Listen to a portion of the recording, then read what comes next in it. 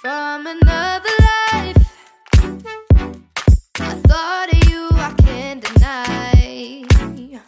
But the minute that I realized that you were a means to an end, and I wasn't gonna pretend, then you.